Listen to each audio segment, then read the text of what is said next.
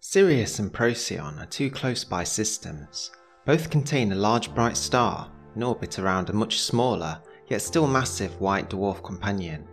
These two systems light up our night sky and are a wonder to behold, but what would they have looked like if their now dim white dwarf companions were in the prime of their main sequence lives?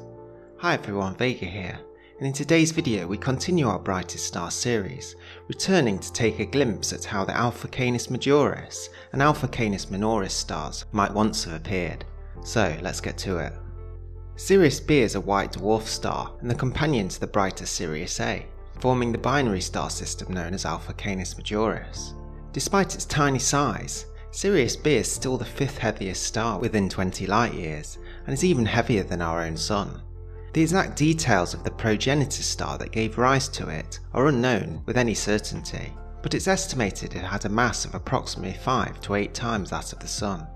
This would have made it likely a hot blue B-class star, much in the mould of the Lion King of Regulus, or perhaps more likely, Alnair, also known as Alpha Gruis, with a classification of somewhere in the middle of the B-class main sequence, B3 to B6 let's say, or perhaps even as prominent as the weirdly egg-shaped star of Achernar.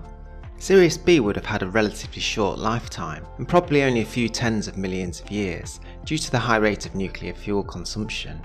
The progenitor star likely followed a similar evolutionary path to other massive B-class stars of its kind, starting its life as a hot massive blue-tinged star, fusing hydrogen into helium. As that fuel depleted, the star would have expanded into a red giant phase, burning helium at its core and undergoing several stages of nuclear burning, including indeed the fusion of heavier elements, including carbon and oxygen. Eventually Sirius B exhausted its nuclear fuel and shed its outer layers. The exact format though of how it did this is unclear. It could have been in a spectacular expulsion, or even a supernova.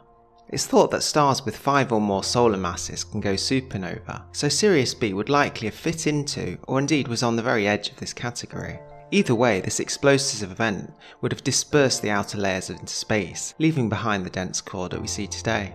The exact details that created Sirius B's white dwarf are challenging to directly observe, of course, or study the system because it's long since moved on from its position in space at the time. However, astronomers have been able to estimate the age of the Sirius binary system, and it's believed that the progenitor star of Sirius B went through the supernova explosion and transformed into a white dwarf approximately 120 to as many as 150 million years ago. Often overlooked because of the Sirius system, the Procyon system is extremely similar, with a large F-class yellow-white star of Procyon A and a much fainter companion of the white dwarf Procyon B. Procyon B though is substantially less massive than Sirius B at 0.6 solar masses. It does still remain one of the heaviest stars in our local area, but not on the higher rankings as we see here. Again, the specific characteristics of the progenitor star that led to the formation of Procyon B are not definitively known. Unlike Sirius B, Procyon b is thought to have originated from a main sequence star that could have once been more similar to our Sun, or perhaps a little more likely, slightly more massive. Speculation says that it possibly had a mass in the range of 1.5 to 2 times that of the Sun, so it would be something very similar to the Sirius A star now, Altair, or indeed Vega, and likely an A-class main sequence star. Now this asks an intriguing question. Given that stars like our Sun or Alpha Centauri A last much longer than stars like Sirius or Vega, how come the star even exists so early in its life cycle?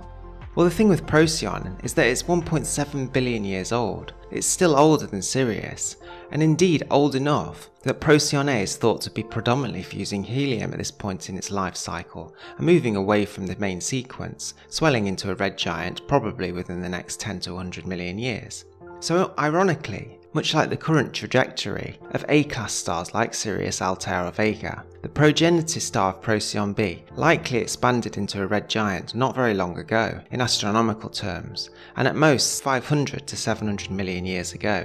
This is based on the fact that the typical A-class stars tend to live around 1 billion years. As the progenitor star exhausted its core hydrogen, the outer layers would have expanded and caused the star to become larger and cooler. Eventually, just like Sirius B, it would have shed its outer layers, leaving behind a dense core, but this time in a much less explosive way, and left behind indeed the white dwarf we now observe as Procyon b. The process by which these outer layers are expelled is still not fully understood to this day, but it's believed to involve stellar winds and mass loss mechanisms. In today's graphic, we take a look at the current night sky and imagine that both Sirius B and Procyon B were still in the prime of their lives. First of all, Sirius, at 8.61 light years away, suddenly begins to brighten. The stars themselves independently would shine. Sirius A would obviously remain at minus 1.46 apparent magnitudes, but this time, Sirius B, assuming a roughly average star for its class, would have 3,500 solar luminosities and would therefore approach a luminosity of a quite astonishingly bright minus 7 apparent magnitudes. Even when the two stars were added together, which is of course what we would see, the brightness of Sirius B would still dwarf Sirius A so much that Sirius A's light would become negligible. The Sirius system would evenly massively outshine Venus by as many as 16 times, and shine all day and night, a star of a class we've not seen in our solar system for many many millions of years. Indeed, since the last B-class main sequence star, Adara, passed us by for a visit. Not to be completely outdone, however, we now turn our eyes to Procyon, further north in our skies. The seventh brightest star in our night sky, Procyon currently shines at plus 0.34 apparent magnitudes, but if the Procyon B star was suddenly to appear in the prime of its life, it would much resemble the luminosity of the star of Vega at present. But this time, it would be 11 light years from Earth and not the 25 that Vega currently finds itself at. Procyon B at 11 light years would shine brightly at minus 1.61 apparent magnitudes and would replace the original Sirius A star to become the brightest star in our night sky, or indeed in this graphic, the second brightest if we're counting the new Sirius B star so Procyon B would not shine in the same category as Sirius B, and not even close by a long shot, but it would still be an astonishing achievement nonetheless. Both the Sirius and Procyon systems contain a large bright star that has a small white dwarf in orbit. Once upon a time, however, those stars were themselves mighty powerhouses that held their own in skies in their local areas for many, many millions of years. If those stars suddenly were to suddenly reignite their old flames, they would instantly become the brightest stars in our night skies. Indeed, if the larger white dwarf of the two, Sirius B, were to restore to its former glory, it would be so bright in our skies that we would almost be able to read a book by it. Let's celebrate these wonderful star systems while they're around, until eventually they disappear back into our galaxy, and indeed fade from our imaginations. Thanks for watching and consider subscribing if you haven't already. If you would like to support the channel further, you could consider buying me a coffee and I'll link this in the description. Thanks to those of you who have already done so.